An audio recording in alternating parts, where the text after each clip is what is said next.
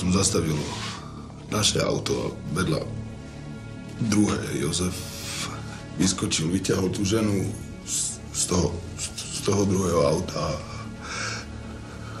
a začal strašne byť. Zbieli do bezvedomia. A potom sme ju, sme, sme, ju naložili do nášho kufra. Jozef ma poslal odpratať jej, jej auto. Som, som ho nechal v rohožníku a išiel domov. Pešo. Kam išiel potom váš brat? Domov. Ke- Keď som prišiel, tak auto bolo v garáži. On spal.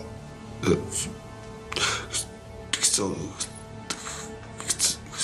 chcel, som vedieť, že či, či tá žena je ešte stále v kufri, tak som zobral kľúče a šiel som sa pozrieť.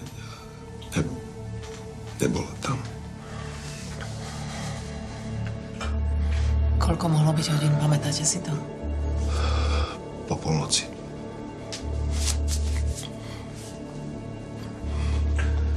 Potom? Potom... Potom som sa ozrel. Keď mi došiel chlast, sadol do auta. Na benzínke som si kúpil ďalšiu fľašu a... a potom... Potom som šiel. Až ste došli k hliadke. Prečo Jozef Annu napadol? Ja neviem. Neviem.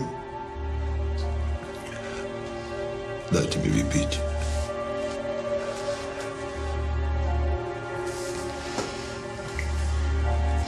Na to tu nie sme.